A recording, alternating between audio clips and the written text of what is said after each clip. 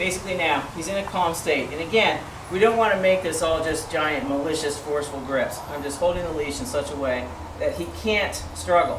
And I just have the flesh of his skin just here between my uh, thumb and my index finger.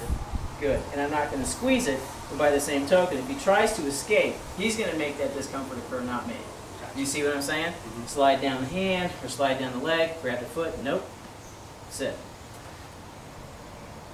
Leave it. Good.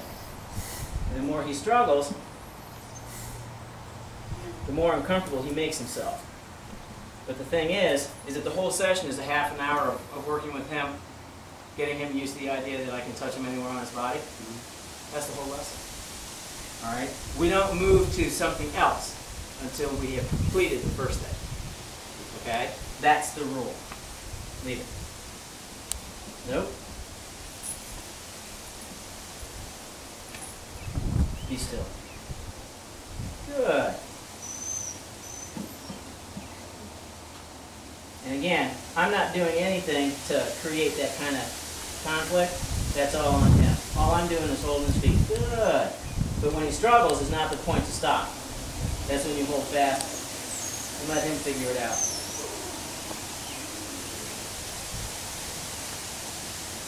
Good. There we go. Almost. See that? You almost finished.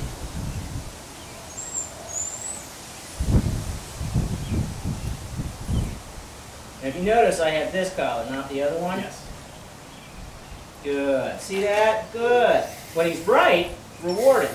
When he starts to struggle, snug him up, make him finish.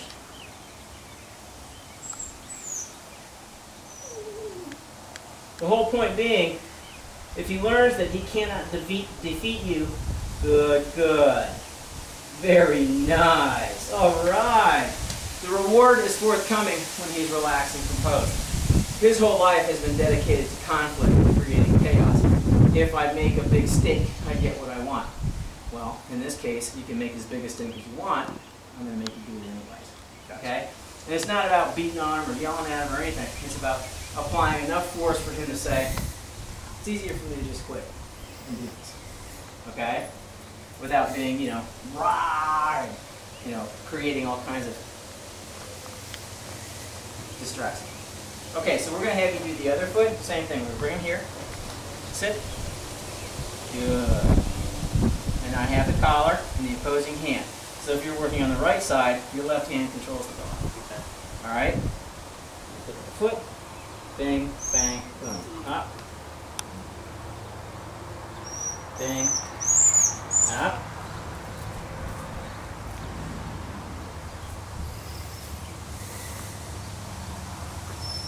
There, see that? He just had his nails cut, so he's kind of like, why do I have to go through this again? because you do, okay?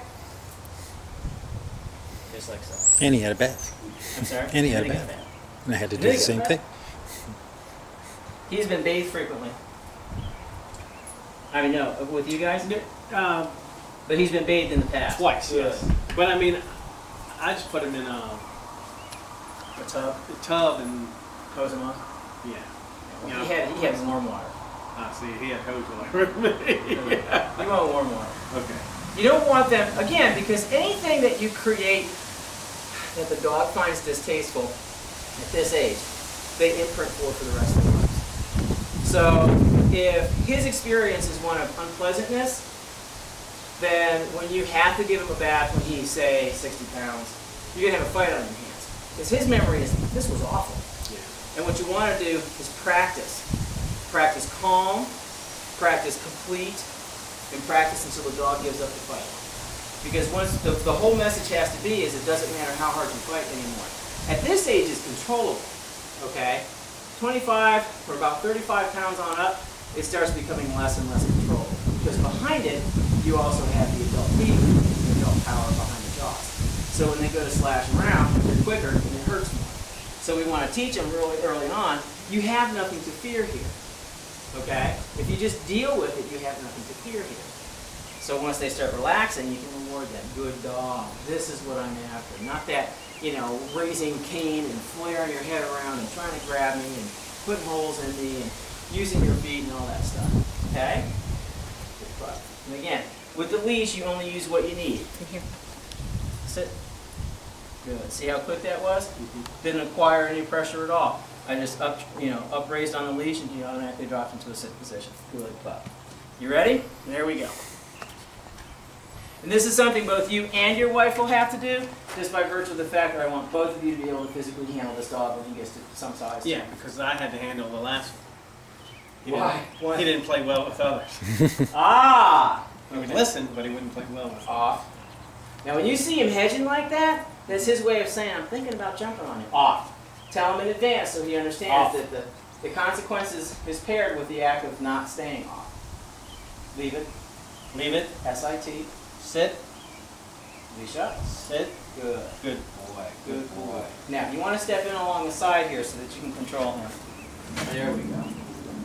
Collar up. Okay, you want there? You can just take the collar here. No. Sit. This collar right here, under the middle finger. Scooch right around his face there. Good. Pressure. When he struggles, nope. Leave it. Leave it. Leave it. Okay. Reset. Let's do it again. He's like, what is this suck? Leave it. Sit. Sit. Sit. up, butt down. And Sit. don't jang him. You're not going bounce, bounce, bounce, bounce. It's just constant, steady pressure upward until his butt hits the dirt. Good. Pressure. Leave it. Don't worry about it. Leash up. Sit. Sit. Leash up. Butt down. Leash up. Sit. Butt down. There you go. Regrip and go again. Because again, the inevitability is for the dog, I can't escape this. I may as well deal with this. That's the whole lesson. That's okay. We got time. We have at least another 40 minutes. Sit. Okay. Scooch him around. Sit. Should I stay on the paw I was on? Well, at this point you can't. And when he grabs that leash, you zip No. it right through. Leave it. Leave it. It's too late to do it while he's doing it, not afterwards. There we go. Left hand, left grip. Be still. There you go. Sit. Okay. Don't hesitate. What's happening is you're you're kind of nervous, so he's kind of feeding off of that. Mhm. Sit. Like I said before, you move with purpose. You have great deliberation. I'm already there. Bang, bang, bang, bang. The more he fights, the faster I move. Bang, bang, bang, bang. Good boy for not struggling. All right. And then release. Okay? When you're nervous, you make him nervous. All right? I'm nervous. Practice makes perfect. Perfect practice makes perfecter. Sit. Makes Sit. perfecter. Perfecter. More perfect. Look at that. See? Now Right. switch hands and do the other side. Leave it. Leave it. Sit. Sit. Sit. Sit up. Good. Don't keep repeating yourself. Sit, sit, sit, sit. This is one time. Sit. Look at that. Oh, good boy. nice job. Boy. Good. Yay. Hur, hur, hur, hur. The clapping was for you. All right, now, so that takes care of the front feet. A Okay? whole nother story. The back feet's a whole nother story. So handling's a little different. We're going to show you first. Good. This usually takes two people when they're young. So this is something both of you can do. And again, I have the same grip, okay? Except this time from the front. Come around this way so you can see. I gotta stay in front of the camera. Alright? So now, I'm right where I was before, okay? On the handler side. So I'm on the dog's right side. Basically, same thing, okay? They have to learn to accommodate touch anywhere on their body, especially males. That includes the testes, that includes the penis, that includes everything. And just like with young humans, they don't like that much until a certain age, and then they like it more than they should. But by the same token, they're very protective of those parts, all right? And the more pressure I put there, the more irritated he becomes. Too bad. All right? And there's nerves that run right up on the inside of those thighs, run on the each side of the penis. And essentially, you can control the behavior of the dog just by putting your fingers right against where the thigh meets the body. Stops them cold. Do it too hard, and they're going to flare around on you. Okay? But by the same token, it's kind of a relaxing thing because it reminds them biologically, I have stuff back there I value. I better be calm. All right? Once he's calm, and he's learning stand, it's not something that we teach puppies this young. Um, it's not a skill they go home with, but it's something that we do instruct owners on because I want him to learn stand behavior. Stand. I'm prepared for him to move. He goes to forge ahead, my right hand stops him. He goes to lean back, my left hand stops him. So basically, when he's relaxed, I simply slide my hand down his feet, pick up a foot, boom, boom, boom, boom. Stand. Good good. Rest in between sets. Boom, boom, boom, boom. And when he struggles, same thing. Stand. Firm him up. Go on the inside. Good, good. Okay, and release. So that way he understands and appreciates the faster I stand here and take it, the faster this ends. Just like bats. Years ago, I had a dog who hated bats. He was a show dog. Come on up, pup. Come on. Kennel up. Good. All the way. Good pup. So he was bathed pretty frequently. At least once a week, if not more. Depending on his show schedule. Hated baths. Hated them. Didn't matter how many I gave him, he hated them. So one day, we had a big row in the tub. He's flashing around, he's and it was just ugly. So I snapped him up, and I'm correcting him, I'm like, you stop that now. And I'm like, look, once you realize the faster you do this, the faster you get through this. And he was like, finish the bath, next week comes. He sees me preparing all this stuff. He was meeting me in the tub. He was waiting for me. Got in, got his bath, five minutes, bing, bang, boom. Patch. The pointer. a legacy of pointers who hate baths. because English pointers hate water. They hate it. Good boy. Very nice. Okay. So now we're going to move on to our next skill. And this skill has come, and it still is a work in progress for this guy because he has absolutely no interest in lying down. None whatsoever. He will not do it willingly. He will not do it unwillingly. He will not do it for a hat or a cat or a bat or a rat. He just will not do it.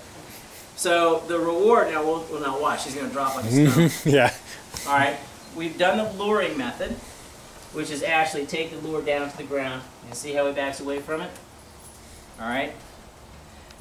So what we've done is I transfer it to the left hand. You see how close to the clasp I am? Grab the front legs, down. Release the reward once he's on the ground. Now, he'll bolt right back up. So I put my hand on his back and reward him for remaining here. Okay, as long as he doesn't struggle, he's fine. He starts to struggle and get up, my hand stops him. All right, good. And then we release. Okay. Okay, good. Then we do it again. We do not tell him to sit because a sit does not have to precede a down. And we don't want these guys getting into the habit of, if I sit, then I'm going to go down. All right, because there's times when you want your dog to sit and stay seated for a pretty protracted period of time, like when you're cutting his nails or cleaning his ears. You don't want him sliding into a down. Sit means sit, down means down. All right, so we have them stay in a sit, um, or we, we place them in a sit position without telling them to sit, and then we set it up.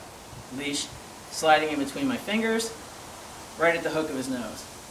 Reach down, left hand gets the signal, down. And then I release the treat when his elbows hit the ground. Good, down. He can roll over on one side, that's fine. Good, down.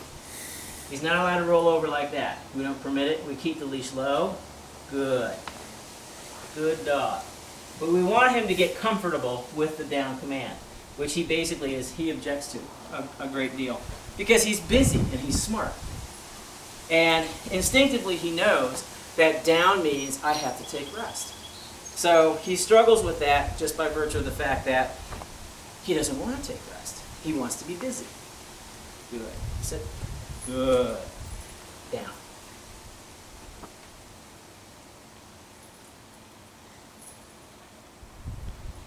That.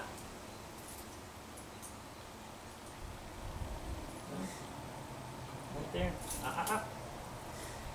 See that? Right there. No, it's not in that hand. Right there. Down. Good.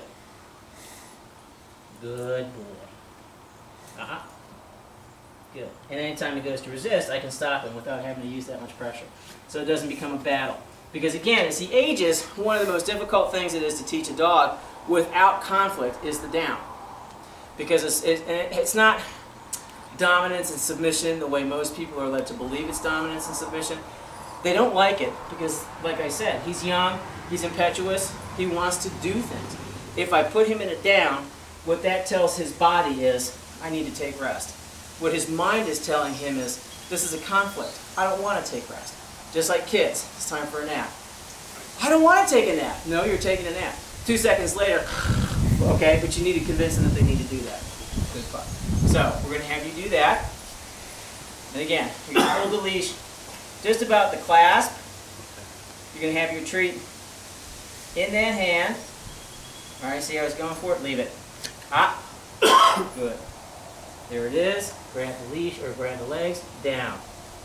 Don't release it until after he's on the table because we're going to fade that right away. Okay. Hold that. Here's a tree. Teeny tiny, little itty bitty. Just like so.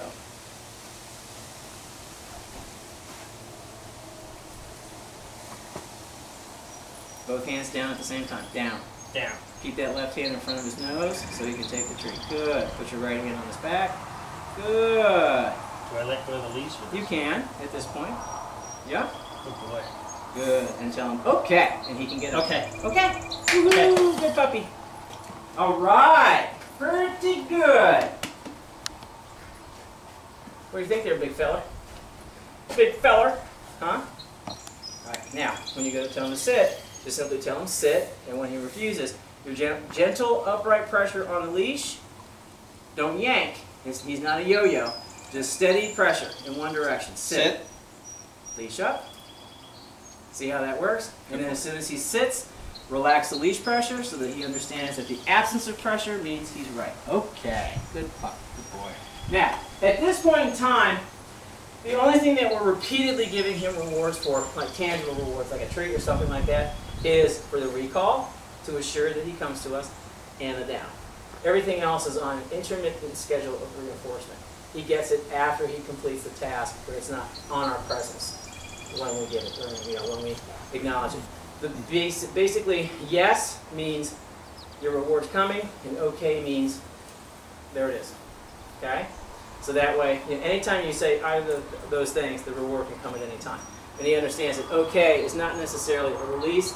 Okay is the absence of pressure. It means he's free to move away from, or do something other than, or get a reward for. Okay? Review that line several times. That's the most important critical rule of dog training right there. Good dog. Okay, so now we're going to do heel. And actually, we're going to do the recall first. Okay, bud. Good. His name is very important. Gunner. Gunner. Good. Yes. Okay. Okay? It's a default. It means come to me. Or at least pay attention to me so that I can direct you to do something. Alright? Basically, a lot of times, people use their dog's name in vain. Gunner, I said blah blah. And the dog's going, yeah, okay. And normally what owners inadvertently do is teach their dogs to run away when they. So every time we say his name, we want to make sure that we reward it with something that's going to encourage him to respond appropriately in the future. Gunner. Pop, pop. Hey, Gunner. Good. Here. Sit. Good dog. Okay. So every time he hears his name, he gets rewarded.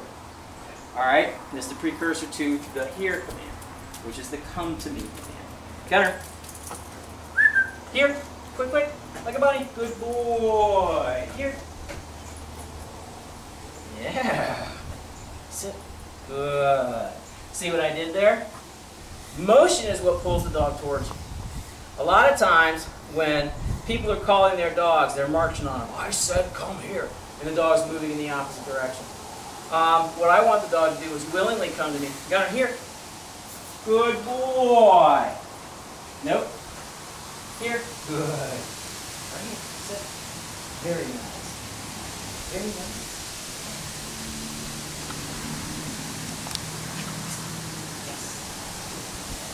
I don't want him focusing on pocket or a hand. I want looking in the face. Here is not the act of going from A to B. Here is the act of being at C. In front of me, facing me. All right? And the reason we want to harden this skill is because with dogs, the only thing they think about is what they're looking at. So if I get him to look at me, he's not going to be thinking about what might be going on around him. Make sense? Okay. So when we go to practice this skill, we have two things with which we practice it. The six foot leash and the 15 foot leash, which you'll go home with. Got her here. Good. Sit. Good. Okay. Now, he still has a penchant for going, what? I don't want to. Which is why he still runs on a long line when he's outside and on a leash and collar when he's inside. And this is something that you're going to have to carry forward for a considerable length of time. Um, he's very, very opinionated. He really likes, uh, he believes his own press. Let's put it that way. Okay? So basically, we have to make sure that it's not, you know, these things are not on him in order to punish him. These things are on him in order to assure that he remains right. Okay, there's a big difference. Good dog. Out. Out. Leave it. Good. I'm not rewarding that. So, what we want to do is practice the recall when he's not looking. And we start by sharpening his hearing by saying his name, which we have preconditioned to mean there's value in returning to us when you hear your name. You get a reward, you get to play a game of tug, or I get to fun you up and tell you how wonderful you are before I send you on your way again. All within the confines of a leash. Make sense? Mm-hmm. So when we call him, he can't go any further. I'm not going to yank on him, but if he refuses, I can apply enough drag where he doesn't have a choice but to come to me. Gunner! Bup, bup, bup. Gunner! Here. Good boy. Sit. Very nice. See how easy that is? So he's rewarded for being right. If he chooses to be wrong, his struggle remains his responsibility, not yours. You see the difference there? Okay. So you try. Just keep doing it, Yep. doing it, doing it. Like a broken record, dude. There we go. You want to keep them in your right pocket, your right hand, unless you're left-handed.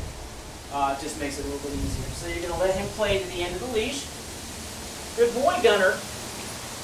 Good pup. And when he distracts, you're going to stand relatively still.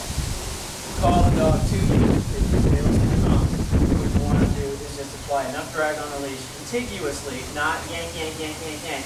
Like now. Come on, Gunner. Gunner, come. Here. The command is here. Here. All the way in. Back away. Back away. And call. Good. Now step in to meet him. Good boy. Good dog. We don't use come, and here's why. By the time the dogs get here, even when they're this age, they're conditioned to believe that come means run away. Okay? He's got a lot of run in him. You go, Gunner, come here. He's like, all right? So we change the context by changing the word and making it a lot more encouraging for him to be with you. Now, that right there is another thing I want you to study very closely. If you impose yourself, I mean, if you basically, you know, you're, you're in the dog's flight zone, you're pushing him away from you. So, like I said earlier, if you advance on a dog you're calling to you, you're pushing him away. If you retreat from a dog you're calling to you, you're pulling him into you. So when you call him gunner here, and he's reluctant, that drag in your backward motion is going to carry him to you. So when he's in the correct proximity to end up right, you step in and stop motion. Make sense? Do it again. Gunner, here. Step. No, no. He's too far away. See now what happens is you're gonna, if when you lean into him, you're going to push him out of your flight zone. So you want him to come into your flight zone so that you both share the same space. Leave it. Leave it. Good. Control your leash better. Here. Good. Come on. Here. Here. Step out. Back, back, back. Here. Here. Now meet him halfway. There you go. Good boy. Good boy. Good boy. And, and practice is going to make that a little bit more fluid until he understands reward doesn't happen until he's this close. Okay? And the reason we want to pull him in Um, I just actually sent a dog home that um, had come here for training uh, a while ago and did very, very well with the training, but the owners got kind of lazy. So they'd call the dog to come to them, and then as soon as he was within a close range, they would move right into his flight zone, and it would push him out. So when they when they started realizing what was happening, he would sit about 10 feet away from him. And then it became this conflict about how to get the dog to come closer. So they brought him back. They were going out of country for, for almost a month, and they brought him back, and they said, you know, if you can, take a look at this behavior. I said, sure, no problem. And that's exactly what had happened. They put too much pressure on the dog. Instead of allowing him the opportunity to choose how to be right, they basically were forcing him to be wrong. So he was kind of like, you know what, since I can't be right and I can't be wrong, I'm just going to do my own thing. So they would reach for him, they'd snatch at him, or they'd run him down and try and grab him, and they completely soured the entire experience for him. So we want to avoid that. And the, the way we want to avoid that, I always make sure that there's nothing, there's not, let's put it this way, not necessarily nothing, because there's going to be times you're going to do things the dog finds unappealing.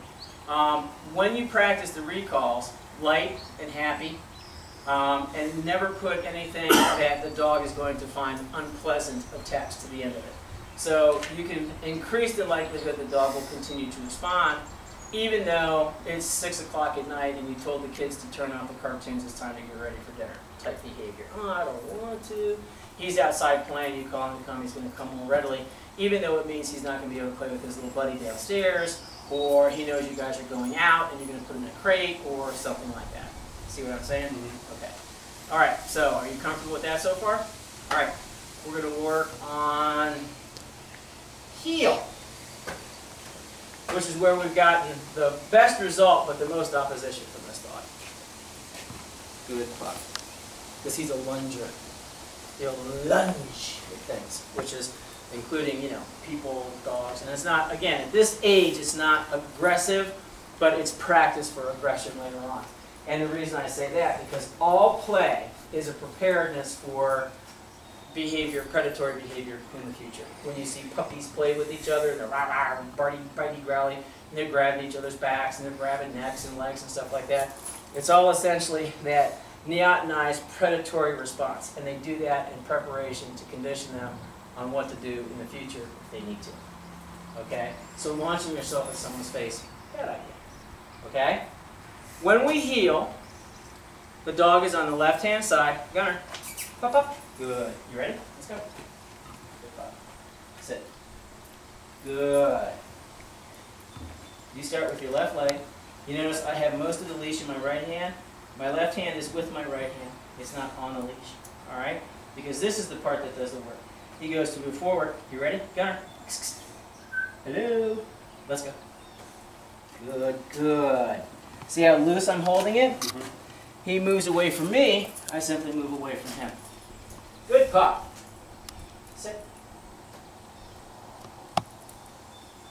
Good. And again, that very little pressure made him sit. Now I moved without telling him to stay or whatever, but essentially, good pop.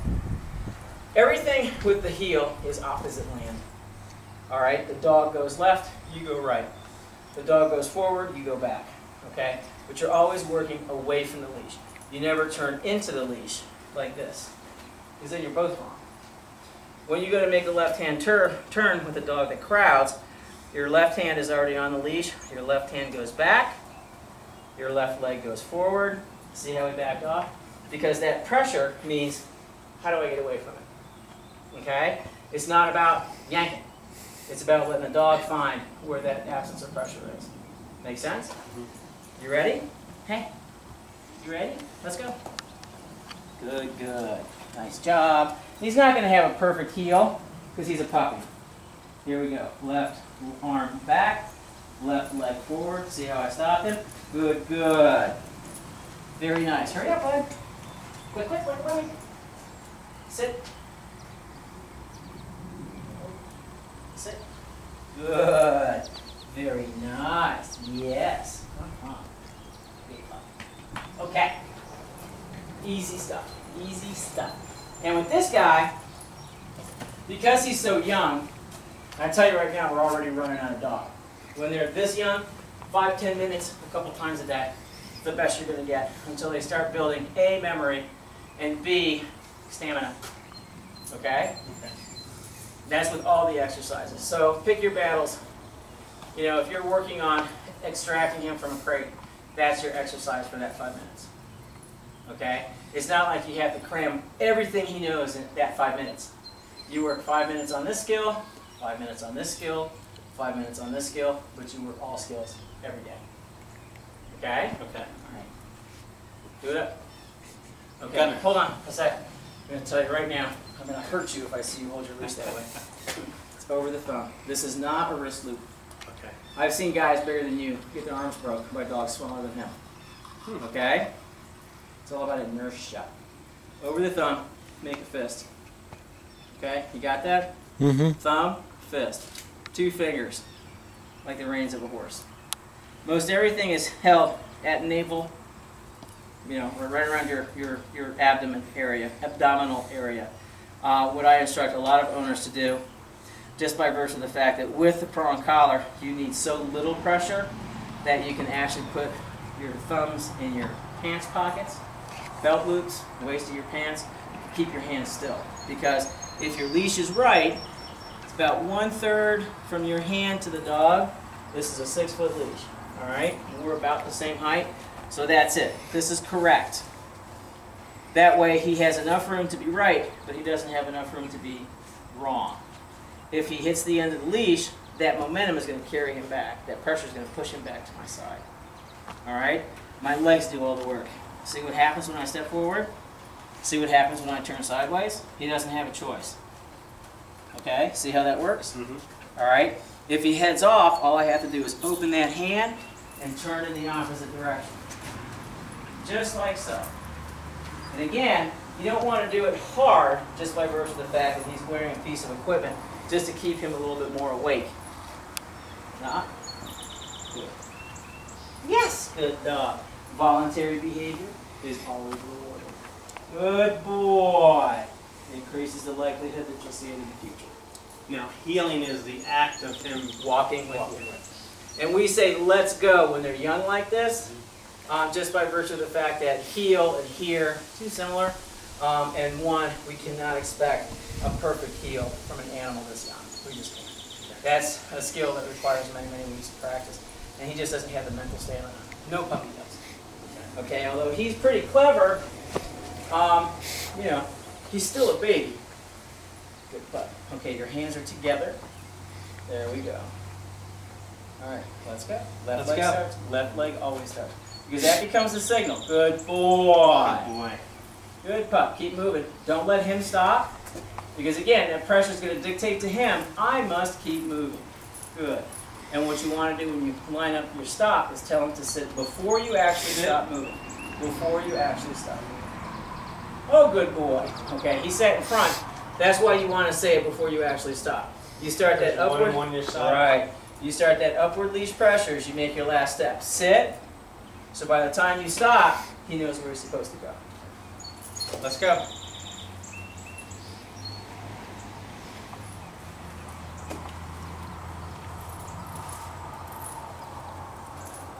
Good pup. Good boy. Good boy. Tell him to sit, Sit. slow him down. Leash up. Because you want to prevent him from crossing in front of you.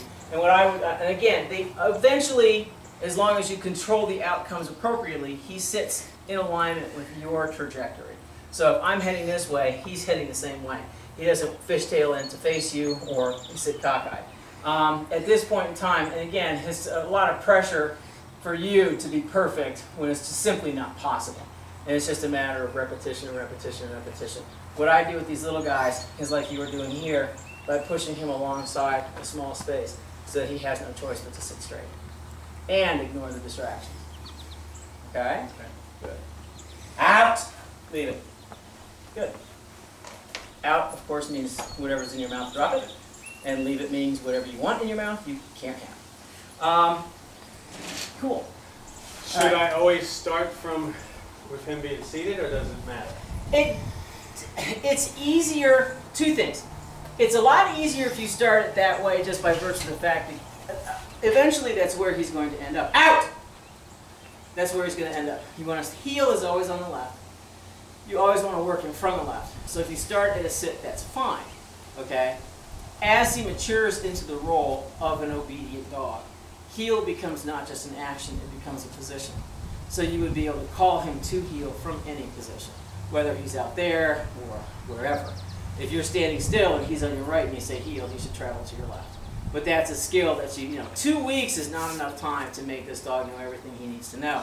But we have, we rough in all of the skills that we can in a short enough period of time for him to go home with a memory of what it is he's supposed to do. Practice is what makes him proficient.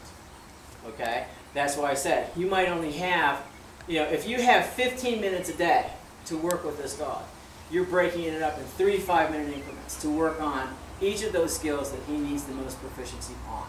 Whether it's the recall, the heel, crate exits, whatever, door behavior, greeting behavior with strangers, so on and so forth.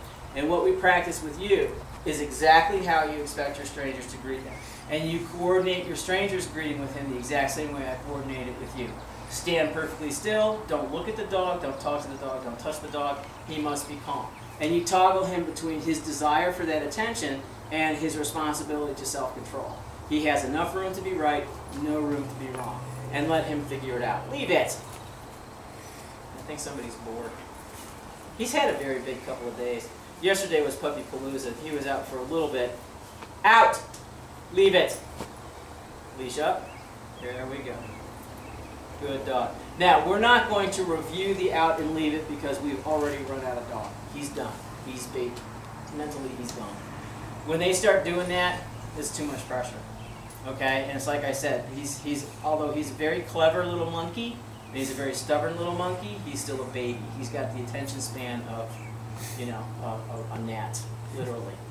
Um, so we need to make sure that we end on a high note. Good job, well done. There are periods of confinement before work. There are periods of confinement after work. So if you know that you have five minutes to work him on, you know, something, plan in advance that he comes out of a period of confinement. Make sure that he's relieved himself before you confine him, and then make sure that he doesn't have to relieve himself immediately after you release him from the crate. Does that make sense? Mm-hmm. Okay? So that way, there's a lot of coordinating. It's just like with babies. Leave it. Tell them make it. Leave it. There we go. Good. Good, good. Good boy. boy. Very Good boy. nice.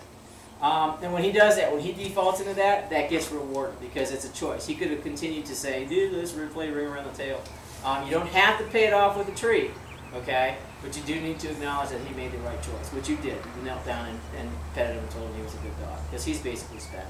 Um, look, his eyes are like, he's like, he's So, kind of at half mast. What, what times have you been feeding him Um, he's been, what time? Six-ish, six thirty. What? Dinner? Feeding breakfast. Oh, breakfast usually around seven, seven thirty in there. Okay. So what I would recommend doing, because you get up so early in the morning, take him outside to relieve himself, because he's already patterned to not eat until later. Take his food with. Well, my house is literally five minutes from my office, so Okay. I can put him back in. Off. Get him off there. Control Off. that dog. Good. Um, and basically, it's like, yeah. I mean, it. What time does your wife get up? Look, when I leave.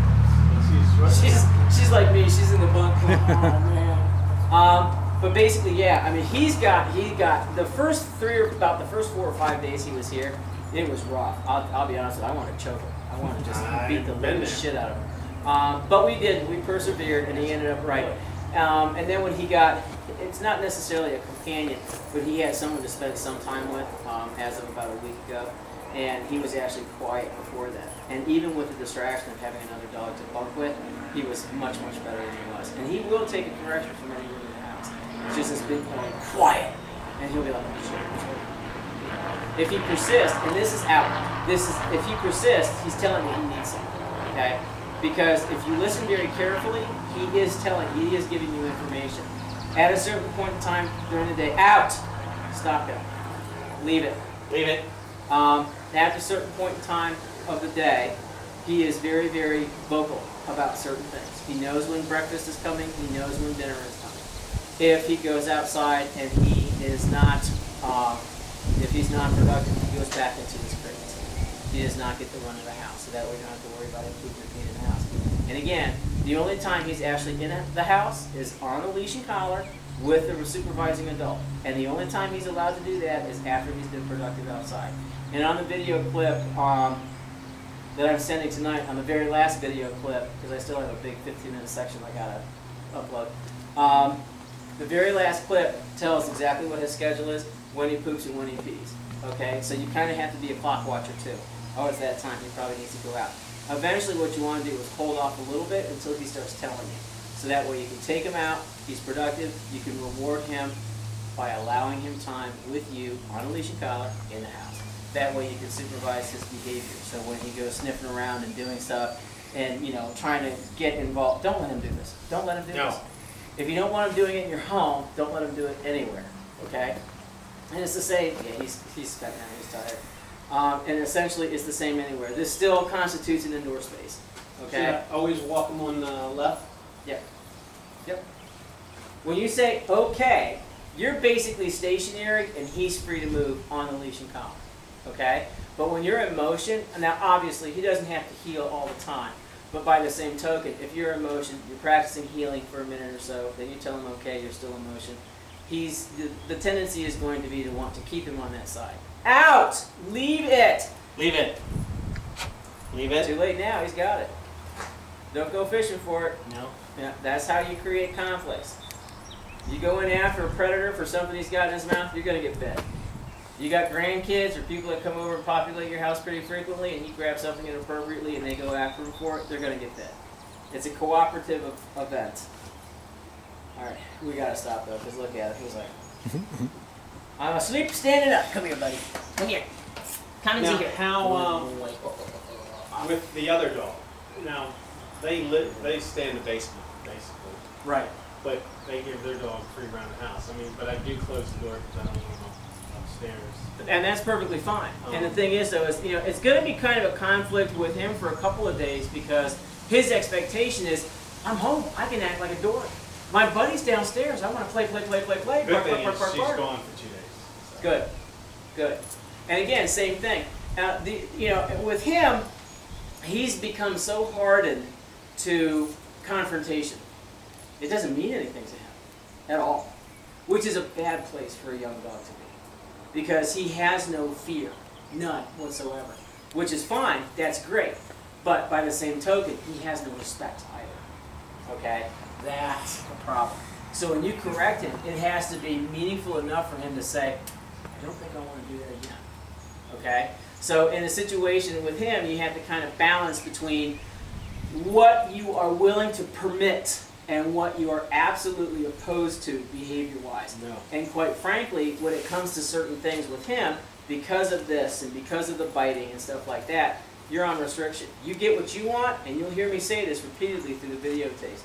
You get what you want when I get what I want. And that's essentially how life with a dog works. It has nothing to do with battling with them and dominance and all that other crap. It has everything to do with just patiently waiting them out. He does not have patience. It's taken us two weeks to help him establish what patience he has. Okay? And it's finally paying off, hence the prong collar. Otherwise, I think this is probably the third puppy in maybe 40 years I put collar. A puppy this age. Now, it does occur. Um, some people do it with a lot more regularity than I like, but for the most part, we shouldn't have that much equipment on. But that's the kind of dog he is. He's that tough. Okay? Sweet, wonderful, nice. There's nothing wrong with this dog, and I don't want to give you that impression. But he's a hard, hard dog. Okay? He's very opinionated, he's very bright, and he has just got a mind like a steel trap. Because once it closed, it stays closed. It's all about the gunner. Good Puddinhead. Good boy. I'm tired. Um, okay, do you have any questions? Is there something that you want to address? No, just, just, oh, the crate. Um, I mean, I just put them in, and leave the room. You don't, Kennel up, and you're about your business elsewhere. And like I said, he's in the busiest room in the house. All of our traffic originates in the kitchen. Dog traffic, people traffic, food traffic, everything happens in the kitchen. He had to accommodate that. When the kitchen was empty, he would scream like he was on fire. And then all of a sudden he started realizing, you know what, being by myself ain't such a bad thing. because what we did, his conditioning had been, if I put up a fuss, I get attention. What we spent the first almost week of him being here was, if you put up a fuss, you're not going to like the attention that you get. And he finally realized that after the exhaustive periods of multiple hours in a row of allowing him to scream himself hoarse. When we finally came in, we came in like white on rice. You do not ever make that noise. And he was like, whatever. Okay? So it took him, because again, the vast majority of his life, his experiences dictated when I make noise, I get attention. Okay? And in puppies, it's actually much harder to deal with than it is in the adult dog. Because he has no natural fear. He had no respect. So we had to provide him with a consequence sufficient for him to understand this is not something I want in the future. And it took us a couple days to figure out what it was. Like this morning, um, normally I'll put a water bowl out and then I start taking the puppies out. Well, this morning I didn't do it. I was like, I got to get the puppies out because one of the puppies was like, I'm being in my crate, so I want to make sure nobody messed their crate.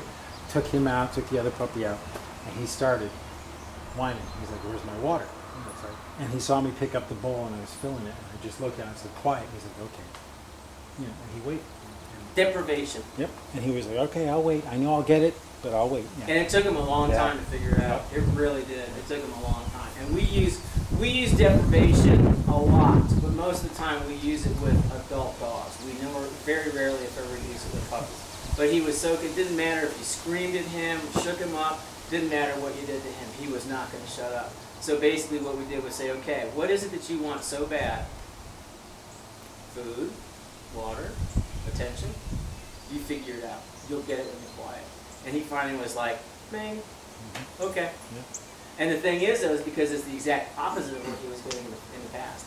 And then all of a sudden he was like, oh, and the light bulb went off. So now basically he's a little bit more responsive. He's a lot more responsive. And the thing is, is now he's smart enough to say, when he's persistent, there's always something he wants, always. And when we give these guys, it's like I say in the video, he is not allowed free access to water because he has a urination deficit. His little bladder is still not, you know, uh, trained enough to compete with his needs for water, so he has to urinate frequently. Therefore, he has to drink frequently. Uh, the rule is, and you'll hear this, is two ounces per one pound of body weight. So if he weighs 25 pounds, in order for normal bodily functions to occur, he has to have 50 ounces of water. Obviously, he's not going to drink that all at one time, but he should have access to it. Some days are going to be more demanding than others. Okay. So basically, we want to give him about 10 ounces intermittently throughout the day to equal 50 ounces. If he drinks all 10 ounces, great. Okay, 10 ounces really isn't that much. All right, and his little belly can only handle so much. He actually is, is much better than the other puppy we have here that's the same age. He will stop drinking when he's not thirsty anymore. The other puppy will tank and tank and tank and tank until he looks like he's going to explode. Um, he won't. He's got a little bit more sense. But again, when he's thirsty, he's going to drink.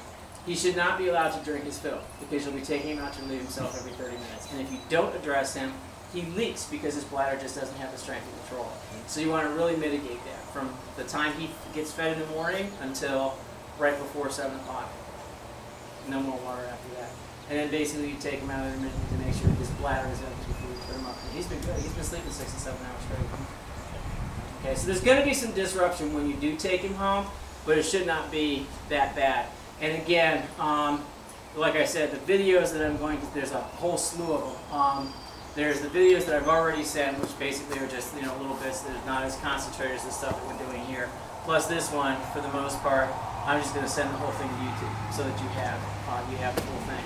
Um, and it'll be access, you know, your access. It's private. No one else can see it unless you give them the the, the whatever it's called, address, the URL. Um, but basically, yeah, he's he's uh, he's been a challenge. He's been a lot of fun. He's been an interesting. It was driving us crazy, and you I bet. the. I bet. And the thing is, though, is, and I, and I was telling Peter the other day, if, if I sent this dog home with no other skill than to understand what the word quiet meant, you guys would worship me. Yeah.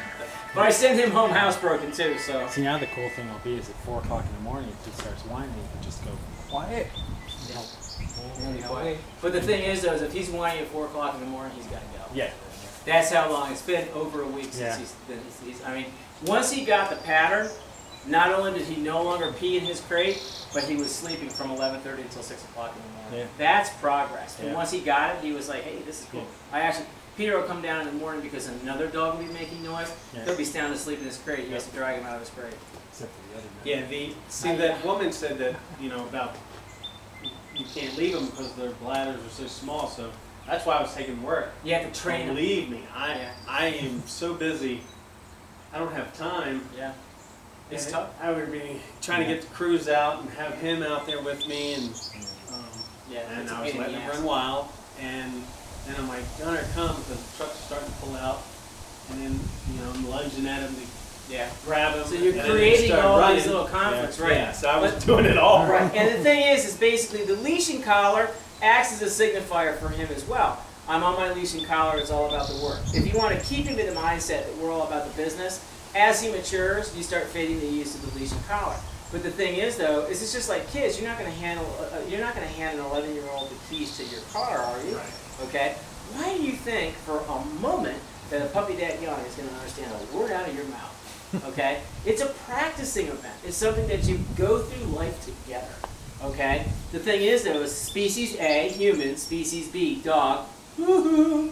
What are you doing? I mean, you, you know, and the thing is, is you have to teach them how to learn. Okay. And the thing is, they're dogs. They have their own, you know, social hierarchy. They have their own means of communication. They have all these things that are just adamantly opposed to anything human. We have rationalization, we have communication, we have these, mm-hmm. okay? They don't. So we have to figure out a way to help them understand us. It's easier for us to learn how to be a little bit more like a dog than it is to ever expect them to be a little bit more like a human. It's just not possible, okay?